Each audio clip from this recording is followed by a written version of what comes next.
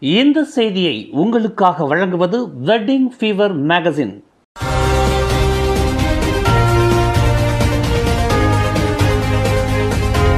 வணக்கம். திசைகளின் ஐந்து மணி செய்திகள். நிந்தனை சட்டத்தை அகற்ற அரசு உத்தேசிக்கவில்லை. நிந்தனை சட்டத்தை அகற்ற அரசு உத்தேசிக்கவில்லை என்று துணை அமைச்சர் ராம் கர்பால் சிங் இன்று திட்டவட்டமாக தெரிவித்தார். பேச்சு சுதந்திரத்தை கட்டுப்படுத்துவதற்கு நிந்தனை சட்டம் தகவல் தொடர்பு மற்றும் பல்லூடகவியல் சட்டம் அச்சு இயந்திர மற்றும் வெளியீட்டு சட்டம் போன்ற சட்டங்கள் தவறாக பயன்படுத்தாமல் இருக்க அடக்குமுறை தொடர்புடைய துணை விதிகளை அகற்றப்படும் அல்லது மறு ஆய்வு செய்யப்படும் என கடந்த பொது தேர்தலில் பக்கத்தான் ஹராப்பான் தனது தேர்தல் கொள்கை அறிக்கையில் அமைச்சர் சுட்டிக்காட்டினார். ஈராயிரத்து பன்னிரண்டாம் சிறப்பு நடவடிக்கைகளான பாதுகாப்பு சட்டமான சர்ச்சைக்குரிய சோஸ்மா குறித்து குறிப்பிடுகையில் அச்சட்டத்தை சீர்படுத்துவது குறித்து சட்டத்துறை தலைவர் காவல்துறை வழக்கறிஞர்கள் அரசாங்க சார்பற்ற அமைப்புகள் ஆகிய தரப்பினரை உள்ளடக்கிய விவாதங்கள் நடந்து வருவதாக கூறினார். இடைநிலை பள்ளி கல்வியை கட்டாயமாக்கும் கல்வி அமைச்சின் பரிந்துரை சட்டத்துறை அலுவலகத்தில் சமர்ப்பிக்கப்பட்டுள்ளது. மாணவர்கள் தங்கள் தொடக்க கல்வியை முடித்த பின்னர் இடைநிலை பள்ளி கல்வியை கட்டாயமாக கற்க வேண்டும் என்ற நோக்கில் இந்த பரிந்துரை முன்வைக்கப்பட்டுள்ளதாக கல்வி அமைச்சர் ஃபட்லினா சிடே தெரிவித்தார். ஆயிரத்து தொள்ளாயிரத்து தொண்ணூத்தி ஆறாம் ஆண்டு கல்வி சட்டத்தின் கீழ் தொடக்க கல்விக்கு மட்டுமே மாணவர்கள் கட்டாயப்படுத்தப்பட்டுள்ளனர்.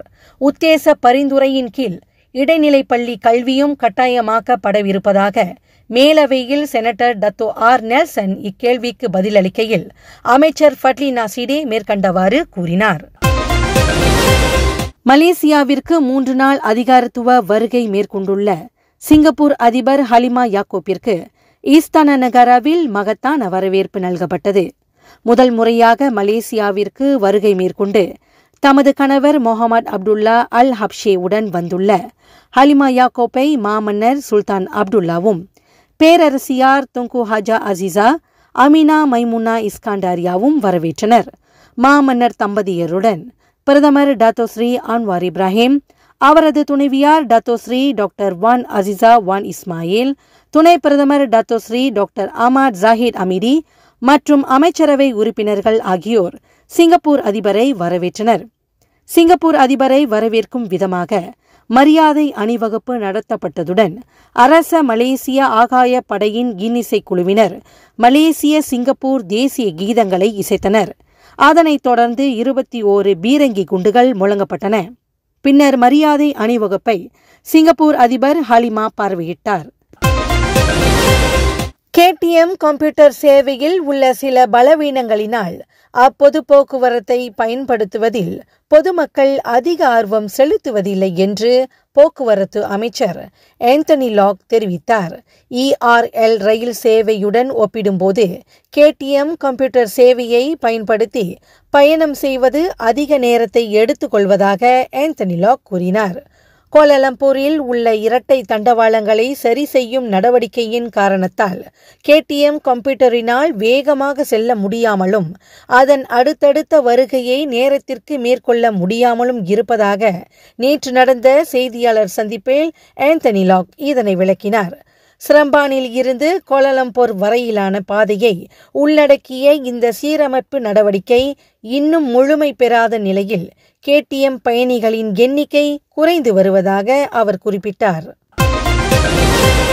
பள்ளி சிற்றுண்டி சாலையில் விற்கப்படும் உணவுகளின் விலையில் ஏதேனும் மாற்றங்கள் ஏற்பட இருக்குமானால் அது தொடர்பாக முதலில் பள்ளி மற்றும் சிற்றுண்டி சாலை நடத்துனரிடம் கலந்தாலோசித்து ஒப்புதல் பெற வேண்டும் என்று மலேசிய கல்வி அமைச்சு வலியுறுத்தியுள்ளது. இந்த விவகாரம் தொடர்பாக வழிகாட்டி புத்தகம் மற்றும் சிற்றுண்டி சாலையின் வாடகை ஒப்பந்தத்தில் குறிப்பிடப்பட்டுள்ளதாக துணை கல்வி அமைச்சர் லிம் ஹுயிங் அறிவித்தார். அதே வேளையில் இவ்வாறான விலை ஏற்றத்தை தடுக்க மாநில கல்வித்துறை மாவட்ட கல்வி அலுவலகம் மற்றும் பள்ளி நிர்வாகங்கள் சிற்றுண்டி சாலையை அவ்வப்போது கண்காணிக்க வேண்டும் என்று மலேசிய கல்வி அமைச்சு உத்தரவிட்டுள்ளதாக இன்று நடந்த செய்தியாளர் சந்திப்பில் லிம் ஹுயிங் தெரிவித்தார். கடந்த ஜனவரி மாதம் பாலியல் நோக்கத்திற்காக ஊனமுற்ற தங்கள் மகளை ஆள்கடத்தல் வியாபாரத்திற்கு உட்படுத்திய குற்றத்திற்காக கணவன் மனைவி இருவரும் குற்றஞ்சாட்டப்பட்ட வேளையில் இன்று பினாங்கு செஷன் நீதிமன்றத்தில் அவ்விருவரும் குற்றமற்றவர்கள் என்று ஒப்புக்கொண்டனர். அறுபத்து மூன்று வயதான சாலை அலியும் நாற்பது வயதான சித்தி ஐடா இஸ்மாயிலும் புக்கிட் மர்தாஜாம் ஜாலான் தம்பிகாயில் உள்ள டேசா வவாசான் அடுக்குமாடி குடியிருப்பில் மாலை ஆறு மணி முதல் இரவு பத்து மணி வரை இந்த குற்றத்தை புரிந்ததாக அவர்களின் மீது குற்றஞ்சாட்டப்பட்டுள்ளது. அந்த கணவன் மனைவி இருவரும் ஜனவரி முதல் பிப்ரவரி பதினான்காம் தேதி வரை கற்றல் குறைபாடு அட்டை கொண்டிருக்கும் அவர்களின் இருபது வயது மகளை ஆள்கடத்தல் வியாபாரத்திற்கு உட்படுத்தியதாக குற்றம் சாட்டப்பட்டனர். அவ்விருவரும் ஆள்கடத்தல் தடுப்புச் சட்டம் பிரிவு பதினான்கு மற்றும் குற்றவியல் சட்டம் பிரிவு முப்பத்தி நான்கின் கீழ் குற்றஞ்சாட்டப்பட்டுள்ள அதே வேளையில் குற்றம் நிரூபிக்கப்பட்டால் அபராதத்துடன் பதினைந்து ஆண்டு கால சிறை தண்டனையும் விதிக்கப்படும் என்று நீதிபதி நூர் ஐனி யூசுப் தெரிவித்தார்.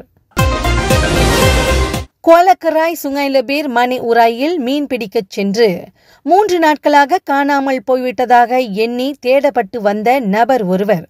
நீரில் மூழ்கி மாண்டார்.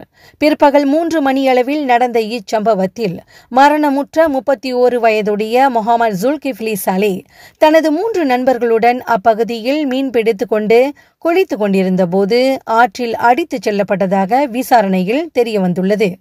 இன்று காலை ஏழு இருபத்தி நான்கு மணியளவில் சம்பவம் நிகழ்ந்த இடத்திலிருந்து சுமார் ஒன்று புள்ளி இரண்டு கிலோமீட்டர் தொலைவில் ஆற்றின் இடப்புறத்தில் உயிரிழந்தவரின் சடலம் கண்டுபிடிக்கப்பட்டதாக கொலக்ராய் மாவட்ட போலீஸ் தலைவர் சூப்ரிண்டன்டன் சுசைமி முகமட் குறிப்பிட்டார். உடல் ஊனமுற்ற தொழிலாளர்களுக்கு கிடைக்க வேண்டிய மாதாந்திர அலாவன்ஸ் உதவித்தொகையை பெறுவதற்கு போலி சம்பள சீட்டை பயன்படுத்தி கடந்த பத்தாண்டு காலமாக ஏமாற்றி வந்த முப்பத்தி ஒன்பது வயதுடைய ஜே. வசந்தகுமரன் என்ற ஆடவரை கடந்த பதினான்காம் தேதி மலேசிய ஊழல் தடுப்பு ஆணையமான எஸ்பிஆர்எம் கைது செய்தது. சம்பந்தப்பட்ட நபர் உயர்ந்த சம்பளத்தை கொண்டிருப்பதால் அரசாங்கத்தின் உதவி தொகையை பெறுவதற்கு அவர் தகுதி பெறவில்லை. இதன் காரணமாக அவர் குறைந்த சம்பளத்தை பெறுவதைப் போன்று போலியாக தயாரிக்கப்பட்ட சம்பள சீட்டை பயன்படுத்தி கடந்த ஈராயிரத்தி பதிமூன்றாம் ஆண்டிலிருந்து உடல் ஊனமுற்ற தொழிலாளர்களுக்கான மாதாந்திர அலாவன்ஸ் தொகையை பெற்று ஏமாற்றி வந்ததாக கண்டுபிடிக்கப்பட்டது. குற்றம் நிரூபிக்கப்பட்டதைத் தொடர்ந்து இன்று சிரம்பான் செஷன் நீதிமன்றம் அந்நபருக்கு முப்பது நாட்கள் சிறை தண்டனையோடு இருபத்தி நான்காயிரம் வெள்ளி அபராதத்தையும் விதித்துள்ளது. மேலும் செய்திகளை தெரிந்து கொள்ள கீழே இருக்கும் பெல் பட்டனை அழுத்துங்கள். உங்கள் மகிழ்ச்சியை வெளிப்படுத்த லைக் மற்றும் ஷேர் செய்யுங்கள். தொடர்ந்து திசைகளோடு இணைந்திருக்க சப்ஸ்கிரைப் செய்யுங்கள்.